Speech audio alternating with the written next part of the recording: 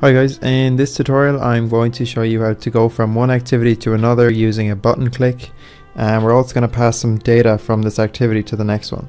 So as you can see here I just typed in something on the screen and when we go to our next activity it prints out. So let's get straight into the build here. I've just created a new project and we need to add a second activity. So that's the first thing that we're going to do. So we're going to go to new and then come down to activity and from that list we're going to click empty activity. So I'm just going to give this a title of second activity and hit finish and we're going to jump straight to our layout file. The first thing that I'm going to do is change our constraint layout to a linear layout and then we need to change that to be vertical rather than horizontal. So I'm just going to throw a text view in here and just give this a text saying second activity just so that we know which activity we're on. Then I just want to adjust a few other features. So I'm just going to make the text show in the center of the page. So I'm going to change this to center horizontal. And then I'm just going to add some padding of 10 dp around the text as well. And the last thing that I'm going to do is just make the text slightly bigger.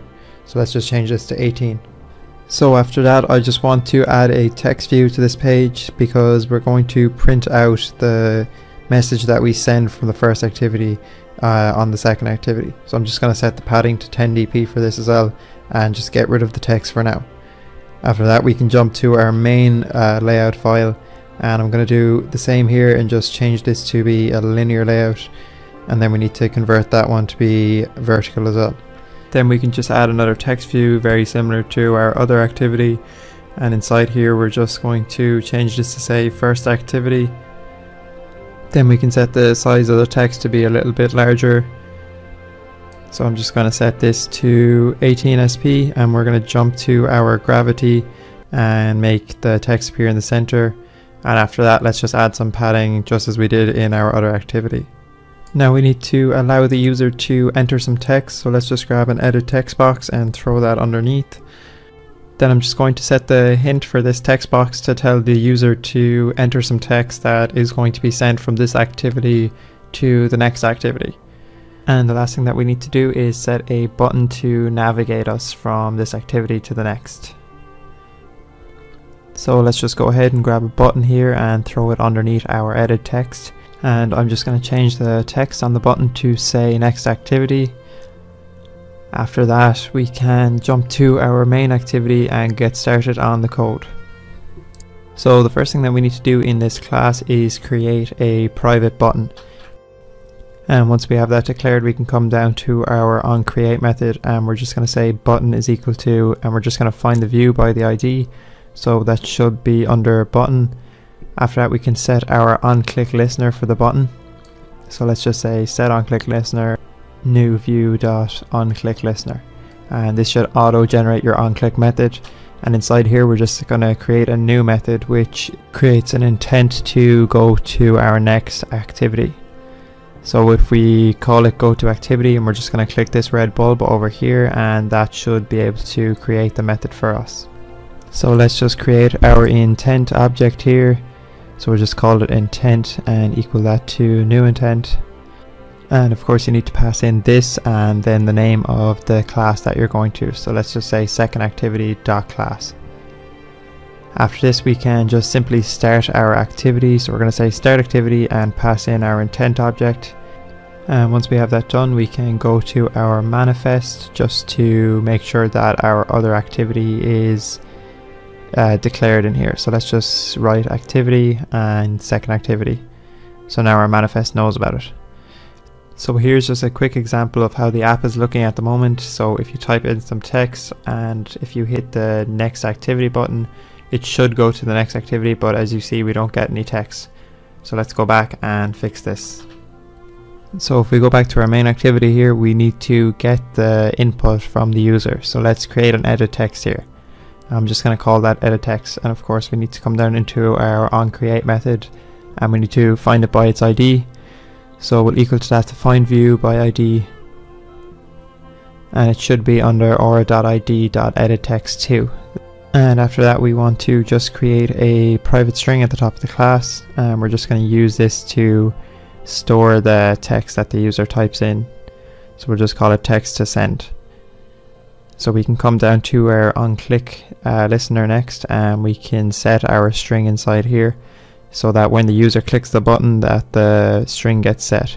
So let's just say text to send is equal to editText dot get text and then we can use the dot to string method. So now that we've gotten the user's input and stored it in a string, we can add that to our intent by using a put extra. So we'll say intent.put extra.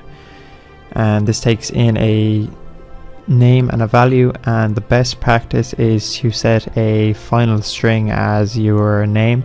So we're just going to come back up to the top of the class and create a public static final and we're going to say text to send and we're going to equal that to our package name. So we can simply say com dot example dot uh, Android tutorial and then we're going to finish that off by saying text to send but this will depend on whatever your package name is and once we have that done we're going to come back to our go to activity method and we're going to use this string as the name for the extra that we're putting into our intent and of course we're going to set the value as the text that we want to send which is stored in our variable called text to send so let's put that in here as the second parameter. And now that should send to our next activity. So what we need to do next is go to that class and we want to retrieve that data. So what we're going to do is create an intent object and we can do that by using the get intent method.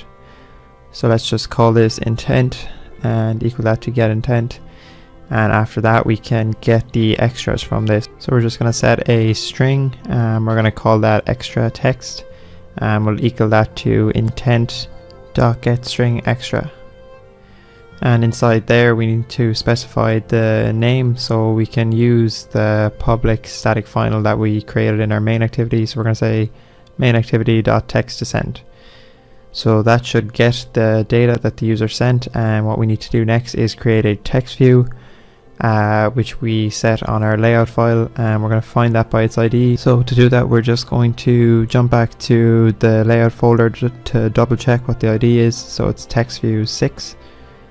So let's go back to our class here and set that to TextView 6.